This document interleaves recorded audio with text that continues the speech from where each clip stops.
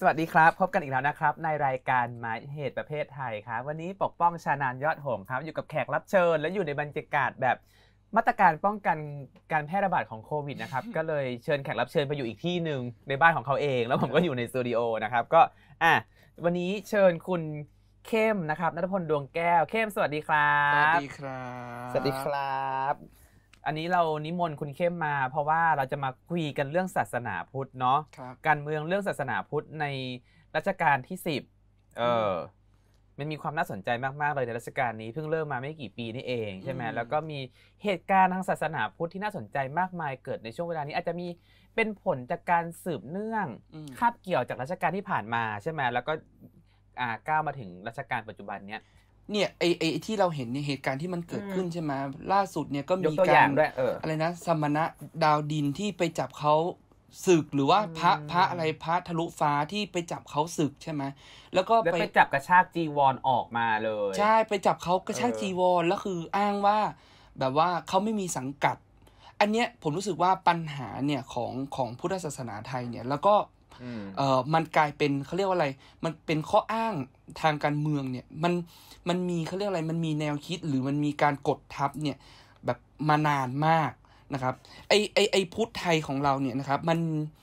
ต้องย้อนกลับไปตั้งแต่ไอ้นี่ดีกว่าแต่ตั้งแต่สมัยรัชกาลที่ห้าใช่ไหมมันเป็นอะที่ย้อนไปรัชกาลที่5เนี่ยเพราะว่าเป็นครั้งแรกนะครับ ที่มันมีการจัดโครงสร้างระเบียบสงฆ์แบบใหม่ขึ้นมา คือทำให้เกิดเอ่อ สิ่งที่เรียกว่าพรบสงฆ์ฉบับแรกนะครับในปีรศ1 121 หรือปีพศ 2445 นะครับ แล้วไอไอพรบสงฆ์เหล่านี้เนี่ยก็มีขึ้นมาเพื่อจะควบคุมอำนาจของพระสงฆ์แล้วก็อืมพยายามจะเอาศาสนาเนี่ยนะครับหรือศาสนาพุทธเนี่ยเป็นเครื่องมือทางการเมือง เพื่อสร้างความเป็นชาติ แล้วก็ระบอบสมบูรณาญาสิทธิราชย์แบบสมัยรัชกาลที่ 5 นะครับ ไม่ว่าจะผ่านทาง การศึกษาใช่ไหมหรือการส่งพระออกไปเขาเรียกอะไรเผยแพร่แนวคิดแบบแบบพุทธแบบแบบของชาติไทยอย่างเงี้ยนะครับพุทธแบบชาตินิยม แล้วก็มีการอืมสถาปนาองค์กรสงฆ์ขึ้นมา องค์กรหนึ่งก็คือ องค์กรมหาเทรสมาคมที่มีบทบาทสำคัญมากในการเขาเรียกอะไรควบคุมดูแลนะครับ จัดการพระสงฆ์ที่ ต้องบอกว่านอกลู่นอกทางนะครับอือฮึอันเนี้ยเป็นปัญหามากนะครับ แล้วก็ผมคิดว่าปัญหาสำคัญอีกอันหนึ่งของของพุทธศาสนาไทยเนี่ยนะครับ แล้วก็มันมีผลอย่างมากต่อความไม่เจริญก้าวหน้าในระบอบประชาธิปไตยไทยเลยเนี่ยก็คือว่าไอพุทธศาสนาไทยเนี่ยนะครับ ต้องบอกว่ามันเป็นฐานโลกทัศน์ของของของคนไทยเลยก็ว่าได้ แล้วก็มีอิทธิพลทางการเมืองคือ การเมืองไทยเนี่ยนะครับมันได้รับอิทธิพลแบบ แบบแนวคิดแบบพุทธศาสนามาเยอะมาก เช่น แบบคนดีอย่างเงี้ย การเป็นนักการเมืองดีอย่างเงี้ย เราจะต้องเลือกอืมคนดีเข้าสภาอย่างเงี้ย ไอ้พวกนี้เนี่ยมันเป็นพื้นฐานความคิดแบบแบบพุทธศาสนาทั้งนั้นใช่ไหมซึ่งคมัรันบซึ่งมันผิดมากเลยนะ มันผิดมากๆนะ การใช่ที่เราต้องการคนดีเขาสภากูต้องการคนดีกูต้องการคนที่มาจากคะแนนเสียงเลือกตั้งจากประชาชน ใช่ คือ คือจริง ๆ แล้วเนี่ยดีไม่ดีเนี่ยมันอยู่ที่ว่าประชาชนเลือกใช่ไหมแล้วก็เราเออควรจะต้องมีระบบระบบตรวจสอบที่ดี แต่กลายเป็นว่า เอ้ยไอไอไอ การเมืองของของไอยุคนี้เนี่ยมันกลายเป็นว่า เออเอาเอาแนวคิด จริงๆ ไม่ใช่แค่ยุคนี้ จริง ๆ มันแค่มันมาตั้งนานแล้วนะครับ ก็คือเอาเอาเอาวิธีคิดแบบแบบพุทธศาสนามาใช้นะครับ ถ้าเวลาเราเราดูโครงสร้างการปกครองของคณะสงฆ์เนี่ยนะครับ มันจะมีการอืมปกครองกันแบบลดหลั่นเป็นแบบชั้น เป็นลำดับชั้นชั้นชั้นอย่างนี้เลย ก็คืออะมีสังฆราชใช่ไหมสังฆราชก็จะแล้วก็จะมีเอ่อเขาเรียกอะไร เจ้าคณะหนก็จะมี สี่ห้าหนอะไรเงี้ยหลายหนแบบว่าหนเหนือหนตะวันออกหนกลางอะไรเงี้ยนะครับผลแปลว่าอะไรอะเหมือนกับอารมณ์แบบคล้ายๆ ภาคก็ไม่เชิง แต่ว่ามันจะรวมรวมหลาย ๆ หลายๆแอเรียเข้าด้วยกันอะไรเงี้ยแล้วอืมไอ้เจ้าคณะโหนพวกนี้เนี่ยก็จะต้องแบบจะต้องเป็นเจ้าอาวาสที่อยู่จากกรุงเทพเท่านั้นนะแบบว่าห้ามเป็นห้ามเป็นคนจากจากต่างจังหวัดอย่างเงี้ย อะรวมศูนย์อำนาจกันขนาดนี้ใช่เลยเหรคือมันเป็นการรวมศูนย์อำนาจเออที่แบบเบ็ดเสร็จมากในในองค์กรสงฆ์นะครับ แล้วก็ไม่พอก็จะมีพวกเขาเรียกอะไร เจ้าคณะภาคเจ้าคณะอะไอจังหวัดใช่ไหมเจ้าคณะจังหวัดก็จะแต่งตั้งเจ้าคณะอำเภอ เจ้าคณะอำเภอก็แต่งตั้งเจ้าคณะตำบล เจ้าคณะตำบลก็จะดูแลควบคุมเจ้าอาวาสแล้วทีนี้เนี่ยนะครับ นอกจากพรบสงฆ์ที่มันมันเป็นปัญหาแล้วเนี่ย แล้วก็ไอไอการรวมศูนย์อำนาจเนี่ยนะครับ มันเลยทำให้เนี่ยเกิดเคส กรณีการใช้ คือคือพระสงฆ์เนี่ยเขาเรียกอะไรแก๊งแครอทที่ออกมาต่อสู้เนี่ยอ่าฮะที่เขาครับที่เขาบอกว่ายกเลิกมหาเถรสมาคมใช่ไหมแล้วก็อืมไม่มีมหาเถรอะไรอย่างเงี้ยมหาเถรสมาคม เพราะว่าเขาพยายามจะเรียกร้องให้เขาเรียกอะไร มีการกระจายอำนาจของพระสงฆ์จริง ๆ แล้วในประวัติศาสตร์เนี่ยมันก็มีมันก็มีในในบางช่วงเวลาที่ที่พรบสงฆ์เนี่ยมันมันพยายามจะเขาเรียกอะไรล้อกับการเมืองในโลกภายนอก เช่นเอ่อในในสมัยหลัง2475เนี่ยเราก็มีพรบสงฆ์ใหม่ขึ้นมา พรบปี2484ก็คือพยายามจะกระจายอำนาจคณะสงฆ์แต่ว่ายังไงก็ตามเนี่ยมันก็มีความเอาคณะสงฆ์เนี่ยมาใช้เป็นเครื่องมือทางการเมืองอยู่ ไม่ใช่อืมไม่ไม่ใช่เป็นการกระจายอำนาจที่แบบว่า เหมือนกับการแยกรัฐออกจากศาสนาอะไรแบบเนี้ยนะครับ อันเนี้ยเป็นเป็นเรื่องที่เป็นเป็นเขาเรียกอะไรเป็นรากฐานแล้วก็การกดทับ แล้วก็เป็นระบบอุปถัมภ์ที่ที่ที่ทำให้คณะสงฆ์ในทุกวันนี้เป็นปัญหาอย่างมากนะครับ อย่างพระเนี่ยที่เขาโดนจับสึกเนี่ยนะครับอ่าฮะโดนจับครับสึกทุกวันนี้ เพราะว่าอ้างว่าไม่มีสังกัดเนี่ยอืมจริง ๆ แล้วเนี่ย อันเนี้ยมันเป็นข้ออ้างทางการเมืองชัดเจนเลย เพราะว่าอื มมันจะกดกันเป็นชั้นๆไงพี่ป้องเหมือนลำดับที่ผมบอกใช่ไหมเจ้าคณะอ่าฮะจังหวัดครับเจ้าคณะอำเภออะไรเงี้ยพอถึงอืมเจ้าคณะจังหวัดเนี่ยพอพระลูกวัดตัวเองอะออกมา action ทางการเมืองเนี่ยเออ ก็จะถูกบีบเป็นชั้นๆว่าถ้าสมมติเจ้าอาวาสไม่ทำการใด ๆ ต่อพระสงฆ์เออรูปนี้เนี่ย เจ้าอาวาสเออนั้นก็จะต้องเนี่ยเป็นปัญหาแหละก็จะมีปัญหา เพราะฉะนั้นมันเหมือนกับโโซ่อาหารเลยนะโหใช่โซ่อาหารทางอำนาจมากเลยนะถ้าใช่อย่างเงี้ยมันมันคือการกดทับกันแบบว่าอืมโอ้โห ที่แบบว่า รุนแรงอะต้องบอกว่ารุนแรงเลยยิ่งกว่าเผด็จการแบบแบบแบบภายนอกอีกอะไรอย่างเงี้ยนะครับอืมอืม ทีนี้พระสงฆ์ที่ที่ที่ไอที่เขาออกมาเรียกร้องเนี่ยเขาก็พยายามจะอืมเรียกร้องให้มันทลายกรอบ ไอไอความอ่าฮะกดทับเหล่านี้ออกไปแล้วก็ให้เสรีไอศาสนาเนี่ยเป็นเรื่องของเสรีภาพนะครับ เป็นเรื่องของความเชื่อตามหลัก แล้วก็ระบอบประชาธิปไตยอะไรอย่างเงี้ยครับเออ คือเราคิดว่าเดโมแครตไฮศาสนาเป็นสิ่งสำคัญมาก ๆ แต่ว่าศาสนาในปัจจุบันเนี้ยกลายเป็นว่าผลผลิตของของรัฐสมเด็จสิทธิราชอืมมากๆและเป็นระบบราชการมาก ๆ เลยที่มันแบบปฏิรูปมาพร้อมๆกับปฏิรูปราชการในสมัยรัชกาลที่ 5 อะไรอย่างเงี้ย ซึ่งมันเป็นปัญหาสำหรับเราคิดว่าเป็นปัญหามากๆ แล้วการที่เหมือนแบบจัดการกับพระสงฆ์ที่ออกมาเคลื่อนไหวทางการเมืองในกลุ่มประชาธิปไตยเนี่ยกลับกลายว่าเป็นกลุ่มที่แบบโดนกลั่นแกล้งโดนโจมตีโดนหลาย ๆ อย่างแม้กระทั่งแบบอยู่ไปกระชากจีวรเขาออกขนาดที่พระสงฆ์กลุ่มที่ ศรัทธาในระบอบเผด็จการมากๆ หรือว่าเคลื่อนไหวหรือว่าเป็นท่อนำอืมให้กับเผด็จการอย่างเช่นพุทธอิสระอย่างเงี้ยกลางได้ไปทั่ว แล้วก็ใช้ความรุนแรงคุกคามประชาชนใช่หรือว่าคุกคามคนที่เห็นต่างได้เนี่ยกลับได้รับการยอมรับแล้วก็ดำรงอยู่ได้โดยที่ไม่มีมาตรการทางสังคมใดๆทั้งสิ้นเลยใช่ขณะเดียวกันก็มันจะมีวัฒกรรมที่บอกว่า ศาสนาไม่ควรจะข้องเกี่ยวกับการเมืองการเมืองเป็นเรื่องสกปรกทั้งที่แบบตัวศาสนาเองเนี่ยก็คือการสร้างอำนาจทางการเมืองอยู่กลายเป็นศาสนา ศาสนาที่เป็นอาณาจักรหนึ่งที่มันมีการจัดระดับการปกครองช่วงชั้นบางประการอยู่และเป็นเผด็จการมายาวนานมาก ไม่ว่าจะอยู่ในระบอบการปกครองแบบใดของพลเรือนฆราวาสก็ตามอืเนี่ยมอืมเออ จริงๆอะมันมีเรื่องน่าสนใจอีกหลายเรื่องอืมซึ่งจริง ๆ เคสการการเอ่อพยายามจะใช้อำนาจทางการเมืองของของเขาเรียกอะไรของคณะสงฆ์เนี่ยกลุ่มนี้เนี่ยนะครับ ในการกำจัด พระสงฆ์ที่เห็นต่างหรือว่ามีมี action ทางการเมืองเนี่ย มันมีมาอย่างยาวนานในประวัติศาสตร์ และเดี๋ยวผมอืมผมว่าเดี๋ยว เดี๋ยวจะเล่าให้ไปฟัพักงกันก่อนไหมใช่เออขอใช่พักก่อนเบรกจะนิดนึงแล้วเดี๋ยวกลับมาคุยกันใหม่ไหมเข้มได้ เย่ครับ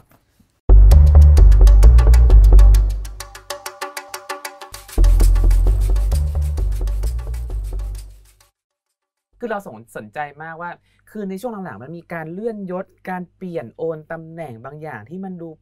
สำหรับเรานะมันดูประหลาดประหลาดๆยังไงไม่รู้ในสิ่งที่เราไม่เคยเห็นมาก่อนอะ คือคือจริงเออๆแล้วเนี่ยอันเนี้ยนะครับ มันเริ่มจากการที่ไอสนชเนี่ยแหละครับที่เนี่ยครับที่หลังจากรัฐประหารใช่ไหมก็มีการเสนอให้มีการแก้ไขพระราชบัญญัติคณะสงฆ์ใหม่ ปี 2561 นะครับ ก็เนี่ยสองปีสามปีที่ผ่านมาใช่ไหมอ่าฮะก็สามวันละผ่านรวดเลยนะครับ โดยอืมสาระสำคัญของการแก้ไขพรบครั้งนี้เนี่ยก็คือการคืน พระราชอำนาจการแต่งตั้งสมเด็จพระสังฆราชให้กับกษัตริย์ แล้วก็แต่งตั้งมหาเถรสมาคมเนี่ยอยู่ที่กษัตริย์หมดเลย คือตำแหน่งสงฆ์ต่างๆเนี่ยไม่ว่าจะพระราชาคณะ สมเด็จสมเด็จราชาคณะเนี่ยสมเด็จพระสังฆราชเนี่ยนะครับ ก็จะ ได้รับการแต่งตั้งผ่านพระราชวินิจฉัยใช่ไหมเขาเรียกภาษาเนี่ยเขาเรียกอะไร พระราชวินิจฉัยของพระมหากษัตริย์ ซึ่งจริง ๆ แล้วเนี่ยนะครับไอไอไอพรบสงฆ์เนี่ยจริง ๆ แล้วเนี่ยรากฐานของมันเนี่ยโดยเดิมเนี่ยมันก็เกิดขึ้นจากพรบสงฆ์2505 ก็คือเกิดขึ้นจากการปฏิวัติของสลิดแล้วนะครับ ก็คืออมเปลี่ยนพรบสงฆ์ใหม่นะครับ ให้มันมีเขาเรียกอะไร ก็คือเปลี่ยนให้มัน ให้อำนาจมหาเถรสมาคมในการควบคุมดูแลคณะสงฆ์หมดเลย คือจะต้องพูดย้อนไปก่อนว่า จริง ๆ แล้วเนี่ยก่อนหน้านั้นเนี่ยมันมีการพยายามเปลี่ยนพรบสงฆ์ใหม่ให้มันล้อกับการเมืองแบบประชาธิปไตยใช่ไหมก็คือในตะกี้ที่ผมพูดไปก็คือว่าไอ้พรบตอน 2484 อันนั้นน่ะจะเป็นประชาธิปไตย แต่พราะว่าพอเวลาเปลี่ยนปุ๊บเนี่ยไอไอการเมืองข้างนอกเปลี่ยนเนี่ยสลิดขึ้นมามีอำนาจสลิดก็มาเปลี่ยน ไอพรบสงฆ์และเราเนี่ยอืมทุกวันนี้เนี่ยเราก็ยังใช้พรบสงฆ์ที่มีรากมาจากเผด็จการตอนสมัยสลิดแต่ว่ามีการแก้ไขมาเรื่อยๆ แต่ว่าไอการแก้ไขนั่นน่ะ มันเป็นการแก้ไขแบบว่า เนี่ยอำนาจของการแต่งตั้งคณะสงฆ์พวกนี้แหละนะครับ คือก็ก็มีเปลี่ยนไปเปลี่ยนมาเช่นอย่างก่อนหน้านี้เนี่ยนะครับอำนาจการแต่งตั้งของสมเด็จพระสังฆราชเนี่ยก็จะอยู่ที่ การเสนอของมหาเถรสมาคมใช่ไหมอ่าฮะก็เสนอขึ้นไปให้กับกษัตริย์ แล้วก็ลงพระปรมาภิไธยแล้วก็นายกก็รับสนองอะไรเงี้ยนะครับอือฮึครับ แต่ว่าพอเปลี่ยนพรบสงฆ์ใหม่เนี่ยนะครับล่าสุดอืมปี2561เนี่ยก็คือคืนอำนาจให้กับกษัตริย์หมดเลยมคือไอ้พวกมหาเถรสมาคม พวกเนี้ยก็จะถูกแต่งตั้งผ่านกษัตริย์ หรือรัชกาลที่สิบหมดเลย อันนี้เนี่ยอืมมันเป็นการเมืองภายใน ของคณะสงฆ์เองก็คือมันเป็นเขาเรียกอะไร คือก่อนหน้านี้เนี่ยนะครับ คือมาเขาจะมีความขัดแย้งระหว่างธรรมยุติใช่ไหมนิกายกับมหานิกาย ซึ่งเป็นสองนิกายอ๋อสำคัญของของพุทธไทย ทีนี้เนี่ยอ๋อเอาไม่ในถูกกันเหรอ ไม่ถูกกันต้องบอกว่าต้องไม่อืมไม่ถูกกันอืมและสองนิกายเนี่อืยมเขาตีกันมาตั้งแต่สมัยรัชกาลที่สี่แล้วอะไรอย่างเงี้ยนะอ๋อครับเหรอแล้วก็เออมีการพยายามจะแบบเขาเรียกอะไร มหานิกายไม่พอใจ เพราะว่าไอไอไอธรรมยุทธ์เนี่ยนะครับเป็นคนกลุ่มน้อยอืมแล้วก็มาปกครองมหานิกายอะไรเงี้ยแล้วก็ไม่พอใจทีนี้เนี่ยในยุคหลังเนี่ยนะครับบทบาทของธรรมกายเนี่ยก็มีสูงขึ้น แล้วก็เอ่อตำแหน่งของสมเด็จพระราชาคณะที่จะได้ขึ้นตำแหน่งของสังฆราชเนี่ยต่อจากสังฆราชองค์ก่อนสังฆราชเขาเรียกอะไรนะ สมเด็จพระญาณสังวรเนี่ยนะครับ ก็อ่าฮะสามลำดับแรกเนี่ยนะครับ เป็นฝ่ายมหานิกายหมดเลย เพราะฉะนั้นการแก้พรบสงฆ์2561 เนี่ย ก็คืออมไม่ต้องผ่านมหาเถรสมาคมแล้วแหละ เพราะว่าถ้าไม่งั้นเนี่ยตำแหน่งสังฆราชเนี่ยจะไปตกกับมหานิกาย เพราะฉะนั้นก็ต้องคืนอำนาจไปให้เอ่อสถาบันกษัตริย์ หรือหรือหรืออำนาจของกษัตริย์ ตัวนี้คือพูดง่ายๆคือพรบสงฆ์ตัวเนี้ยแล้วก็อำนาจของสงฆ์ตัวเนี้ยไม่ได้ต่างจาก สมัยสมบูรณาญาสิทธิราชสมัยรัชกาลที่ห้าเลยก็คืออ๋อเหรออันนี้ย้อนกลับไปห้ารัชกาลเลยนะใช่ะไรคือเงี้ย้อนกลับไปเหมือนกับเหมือนกับการเกิดขึ้นของพรบสงฆ์ครั้งแรกเลย คืออำอำนาจของกษัตริย์เนี่ย มีอำนาจในการแต่งตั้งทุกอย่างในในในคณะสงฆ์อันนี้เป็นการลดบทบาทคุณค่าความหมายของมหาเถรสมาคมด้วยไปด้วยหรือเปล่าเนี่ยเพราะปกติเขาก็ไม่ค่อยมีบทบาทอะไรอยู่แล้ว ถ้าถ้าเราได้เห็นก็แค่ สรรหาใครเป็นสังฆราชอะไรความน่าสนใจของมันอยู่ที่ว่า กลายเป็นว่าพระสงฆ์ไทยทุกวันนี้เนี่ยนะครับอืมตอนที่จะเสนอพรบ 2561 เนี่ยแก้ไขเนี่ยอืมเพิ่มเติมเนี่ยนะครับ กลายเป็นว่าเฮ้ยพระสงฆ์ทุกแทบจะทุกรูปนะ แบบว่าหรือจำนวนมากเนี่ยในในในประเทศไทยเนี่ยเห็นดีเห็นงามพี่ป้องที่จะคืนพระราชอำนาจ เพราะมองคือเขามีเขามีเขาเรียกอะไรเขามี mindset ที่มองว่า เออดีแล้ว เพราะว่าตอนนี้เนี่ยเหมือนกับกษัตริย์จะได้มาค้ำศาสนา คืออันนี้มันเป็นวิธีคิดแบบว่า ที่มันมีมายาวนานน่ะ คือพุทธไทยอืมทุกวันนี้เนี่ยที่สยบยอมเนี่ย เพราะว่าถูกปลูกฝังวิธีคิดที่มองว่าสถาบันกษัตริย์คือผู้ค้ำจุนคือเป็นศาสนูปถัมภกอะค้ำจุนพุทธศาสนา แล้วศาสนาเนี่ยก็ค้ำจุนคือสามสถาบันเนี่ยเหมือนกับประมาณว่า เออถ้าอันไหนอันหนึ่งล้มไปเนี่ย ก็เท่ากับว่าอีกอันหนึ่งจะล้ม เพราะฉะนั้นเนี่ย พระไทยทุกวันเนี้ยหลายหลายคนหลายรูปเนี่ยจำนวนมากเนี่ยก็จะเห็นดีเห็นงามกับกับพรบนี้ แล้วก็การคืนพระราชอำนาจนี้นะครับ เพราะฉะนั้นพอพอมันเกิดการการเรียกร้องให้มีการ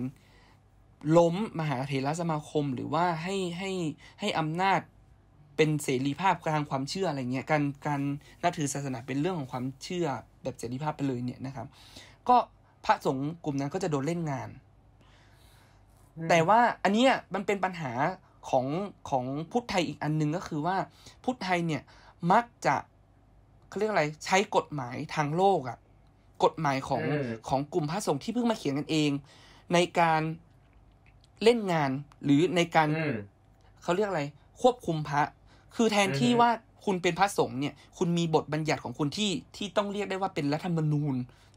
ของของพระสงฆ์เนี่ยก็คือพระธรรมและพระวินัยก็คือพระไตรปิฎกใช่ไหมอืมคือกลายเป็นว่าพระสงฆ์ไทยเนี่ยทุกวันนี้เนี่ยแทบจะไม่มีใครใช้พระไตรปิฎกในการในการควบคุมดูแลพระสงฆ์แต่กลายเป็นว่ามาใช้พรบสงฆ์ซึ่งเขียนขึ้นมาใหม่อืมเนี่ยแล้วก็แล้วก็ในในพรบคือมันมีความย้อนแย้งอะไรหลาย ๆ อย่างในในเออองค์กรสงฆ์เนี่ย ในพรบก็บอกว่า เออจะต้องเขาเรียกอะไรลงโทษผู้ที่ อะไรนะทำให้พระธรรมและวินัยเสื่อมใช่ไหมแต่กลายเป็นว่า action ต่างๆของขององค์กรสงฆ์เนี่ยกลายเป็นว่าไปลดทอนความสำคัญของพระธรรมวินัยเองอะไรอย่างเงี้ยพี่ป้อง แล้วก็เออนี่คือเออเออ่าอฮะครับ เออเออเออแล้วไงต่อแล้วความน่าสนใจอีกอันหนึ่งเนี่ยนะครับ คือแทนที่เอ่อไอ้พระสงฆ์เนี่ยจะจับศึกเขาได้เนี่ยจริง ๆ แล้วเนี่ยตามหลักพระวินัยเนี่ย มันมันมีเพียงแค่เขาเรียกว่าอะไรอะไรปาราชิกสี่เท่านั้นที่จะทำให้พระสงฆ์เนี่ยศึกจากความเป็นสงฆ์ได้ หรือจับเขาศึกได้นะครับ ก็คือหนึ่งเนี่ยก็คือการเสพเมถุนนะครับสองก็คือการลักขโมยสามก็คืออการฆ่าฆ่าคน แล้วก็สี่ก็คืออมการอวดอุตริมนุสธรรมหรือแบบว่าอุ้ยฉันเป็นผู้วิเศษนั่นนี่นู่นอะไรอย่างเงี้ยอ๋อนะครับอะเออโคสี่เข้าใจข้อนี้เท่านั้นตามหลักพระวินัยอืมที่จะเอาเขาศึก แต่กลายเป็นว่าพระทุกวันนี้เนี่ยพระสงฆ์ไทยคณะสงฆ์ไทยเนี่ยใช้กฎหมายที่ไม่ใช่พระธรรมวินัยในการจัดการหรือเป็นเครื่องมือในการเป็นเครื่องมือทางการเมืองในการเล่นงานพระสงฆ์ที่ที่เหมือนกับไม่เข้าหรือว่าไม่เดินตามร่องตามรอยที่ตัวเองวางไว้ หรือรัฐชาติแบบพุทธศาสนาไทยเนี่ยวางไว้อ๋อเหรอใช่ อันนี้นี่คืออยากทำอะไรก็ทำตามอำเภอใจก็ได้ด้วยการที่จะอยากจะออกกฎอะไรมาก็จะอ้างนู่นอ้างนี่ได้เพราะมีกฎ เยอะแยะเต็มไปหมดเลยในหลายองค์กรที่มันผลิตขึ้นมา แล้วก็เอามาใช้ในการควบกำกับทางการเมืองเท่านั้น คืออย่างอย่างอย่างเนี่ยล่าสุดเนี่ยที่บอกว่าอะไรนะ พระต้องมีสังกัดวัดเนี่ยกลายเป็นว่าในพรบสงฆ์เนี่ยก็ไปบอกว่าถ้าพระรูปไหนเนี่ยไม่มีสังกัดวัดเนี่ยก็จะจับศึกได้ภายในอืมภายในสามวันอะไรเงี้ย ซึ่งเอาจริงมันไม่มีในพระไตรปิฎกเอ้ย แล้วก็ไม่มีในพระธรรมวินัย แล้วก็ไปจับศึกประหลาดใช่แล้วก็ไปจับศึกเขาอย่างเงี้ยหรือ หรือแม้กระทั่งในอดีตเนี่ยถ้าจะย้อนพูดไปเนี่ยก็ผมศึกษาครูบาใช่ไหมเราก็ปฏิเสธไม่ได้ที่แบบว่าอย่างครูบาศรีวิชัย หรือแม้กระทั่งกระบวนการของครูบาศรีวิชัยอย่างครูบาขาปีเนี่ย ท่านก็โดนเออเอากฎหมายทางโลกเนี่ยไปเล่นงาน เพื่อจะเอาท่านมาปรับทัศนคติบ้าง หรือครูบาขาวปีเนี่ยก็กลายเป็นว่าไม่ให้ไม่ให้ท่านบวชเพียงเพราะว่าอืมท่านไม่มีใบเขาเรียกอะไรสอดอเกณฑ์ทหารอะไรเงี้ยเออ มันไม่ใช่เหตุผลนี่นะทางพระธรรมวินัยอะไรเงี้ยครับ ทำไมมันมืดมนอนทการไปหมดเลยวะแม้กระคือทั่งแบบคือผมจะต้องบอกว่า อีอืมองค์กรสงฆ์และพุทธไทยเนี่ยมันควรที่จะถูกปฏิรูปอย่างยิ่งไม่ได้ต่างจากกองทัพเลยพี่ป้อง เพราะว่าถ้าอืมถ้ามองกองทัพเป็นเขาเรียกอะไร เป็นอีกอีกรัฐหนึ่งที่มันซ้อนอยู่ในรัฐนี้ใช่ไหมผมว่าอีองค์กรศาสนาเนี่ยก็เป็นอีกอีกรัฐหนึ่งที่มันซ้อนอยู่ในนั้นสำคัญอีกอันหนึ่งสุดท้ายแล้วผมรู้สึกว่า ไอ้พุทธไทยเนี่ยนะครับ มันใช้อืมข้อพระไตรปิฎกเป็นข้ออ้างอืมในการเขาเรียกอะไรควบคุมคนดีแล้วก็สร้างภาพลักษณ์ของการเป็นคนดีให้กับตัวเองจริง ๆ เรื่องนี้เนี่ยน่าสนใจนะครับอืมเนี่ยคือพระดีพระเลวเนี่ย กลายเป็นว่าเอาพระไตรปิฎกในการเป็นข้ออ้างอย่างรัชกาลที่สี่ก็เอาพระเอาตัวเองเอาพระไตรปิฎก เป็นข้ออ้างในการอืมสถาปนาความชอบธรรมทางการเมืองให้กับตัวเอง แล้วก็องค์กรสงฆ์ที่ตัวเองสถาปนาขึ้นอืมอืมตอนนี้ก็เหมือนกันนะครับ ก็เห็นว่ามีการรีเฟอร์ถึงพระไตรปิฎกโดยการส่งปุฉาไปให้ เอ่อทางคณะสงฆ์อะไรเงี้ยนะครับ ล่าสุดที่อ๋อผ่านเหรมาอใช่อืมจริง ๆ เรื่องนี้ควรจะอ๋อคุยกันอีกรอบหนึ่งผมว่า ได้ได้เดี๋ยวกลับมาคุยกันอีกรอบหนึ่งเวลามันเหลือแค่นี้เองคุณเข้มขอบคุณคุณนัทพลดวงแก้วนัทพงษ์ดวงแก้วมากเลยนะครับที่สละเวลามาคุยกับเราเรื่องศาสนาพุทธรัชกาลที่ 10 ครับ ขอบคุณมากๆนะครับ แล้วก็พบกันใหม่ในรายการหมายเหตุประเภทไทยทุกคืนวันอาทิตย์ครับ วันนี้ลาไปก่อนครับ สวัสดีครับ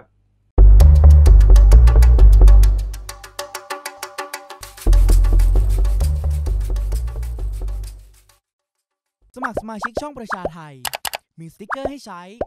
จะได้ดูกันไปยาวๆ สมัครเลย